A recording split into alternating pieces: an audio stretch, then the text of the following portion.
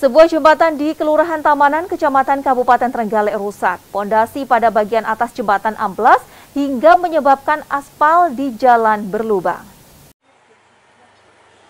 Lubang yang berada di jalan jembatan Tamanan itu muncul dengan kondisi yang cukup parah, yakni dengan kedalaman 5 meter dan diameter sekitar 2 meter.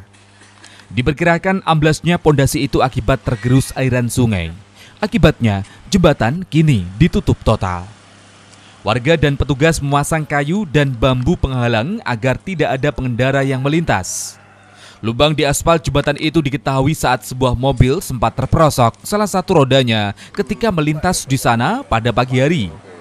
Jembatan di Kelurahan Tamanan itu merupakan salah satu akses alternatif pilihan warga yang ingin melintas dari tiga wilayah yang berbeda.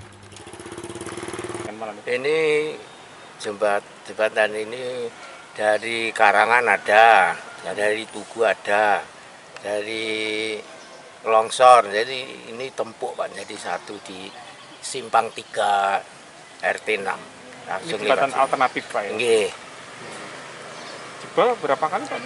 Dua kali Pak. Kemarin itu pondasi yang bawah. Hmm, yang Terus sekarang? sekarang yang atas ini. Ini kok sampai kemungkinan ya ambrol di jalan. Jam berapa Pak tadi ambrolnya? Jam 9 lah. Jam pagi. pagi. Ya, ya. Berarti untuk saat ini tutup total? Ya, ini tutup total karena bahaya. Tadi ada Avanza yang supirnya perempuan masuk lubang itu diangkat banyak orang banyak. Harapan dari warga seperti apa Pak? Banyak. Harapan warga seperti apa? Ya, harapan warga ya permintaan warga itu kalau bisa ini diganti baru ini sudah lama ya.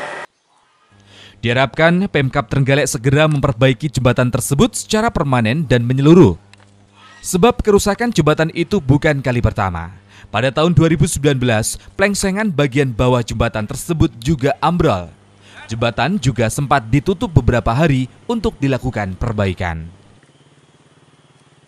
Simon Bagus, Muhammad Herlambang, JTV, Trenggalek.